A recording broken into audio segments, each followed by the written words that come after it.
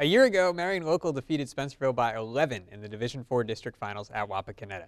This year, the 13 and 3 Bearcats and the 10 and 8 Flyers have moved up to Division Three, and they're both in the Lima Senior District. A postseason rematch could be on the horizon. We'll get a clearer picture after tomorrow's draw. But for now, the two teams getting together for a non-conference matchup at the walk-in closet. And we get started in the first quarter. Marion Local starting fast with a steal by Cole Griesdorn and he takes it himself. That's an easy two. Spencerville now on the attack. Goki to Damian Corso for the lay-in and the foul. And more from the home team. Dakota Pritchard gets the ball in the lane, makes his defender miss, and then is able to get the floater to fall. Spencerville looking good early on, now in transition. Corso to the inside, layup off the window as Spencerville picks up the victory 79 to 60 your final score.